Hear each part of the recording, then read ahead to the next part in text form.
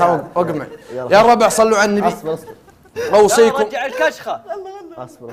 تكلم عن وقف اليتيم لعلها تشفع لك يا الربع أوصيكم وأوصي. أطلع في الكاميرا عادي؟ أنا وياك أنا وياك كلمة أطلع في الكاميرا عادي. عادي يعني. لا لا. والله طيب اسمع. أوصيكم أوصي نفسي يا الربع طيب مقدمة. أو شاء الله آه، الحمد لله. مساكم الله بالخير. مساكم صبحكم الله بالخير. آه، مشاهدينا الكرام أعزائي جمهورنا. آه، جمهورنا هذا هو أيوه. نذكركم وأذكر نفسي بوقف اليتيم في مكة في جمعية رؤوم في رفحة. آه وقف. تكفل لك يتيم 300 ريال.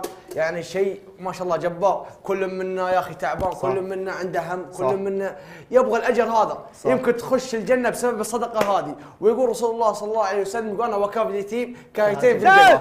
وكمل الكلام عند أخوي بسام؟ آه ما شاء الله سعد قال كل الكلام وخير الكلام ما قل ودل. آه قال الرسول صلى الله عليه وسلم أنا وكافل اليتيم كهاتين في الجنة. الصدقة ممكن إنها تشفي لك مريض وممكن إنها آه تدخلك الجنة فلذلك أوصيكم بالصدقة 300 أيوة. ريال يا سعد تكفى اليتيم مدى الحياة حتى إذا ما عندك 300 ريال يمديك تتصدق ب 100 أو بريال أو إذا ما عندك استطاعه تنشر هذا الوقت الدال على خير كفاله. ها؟